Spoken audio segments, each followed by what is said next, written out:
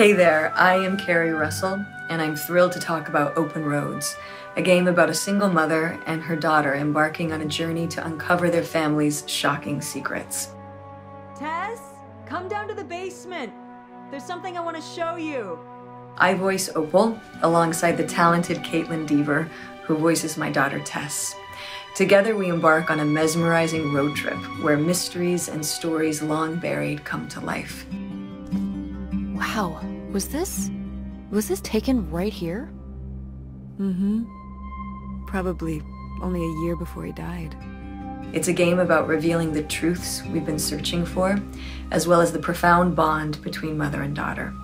It's not a dead end. We just have to get out and walk. Where, Tess? I think it's through here. Thanks for the help, by the way. Look, I know you're upset. We both are. Let's just get in, see what we can find, and get out. Before I change my mind. Get ready for a heartfelt adventure like no other as we navigate through a web of mysteries and emotions in open roads. Hey, Mom. I was thinking about something. I wonder what Grandma would say about all this. Good question. What do you think?